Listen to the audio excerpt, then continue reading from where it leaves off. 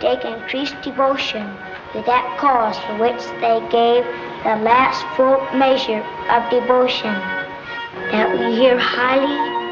Resolve. resolve, and that government of the people, by the people, shall not perish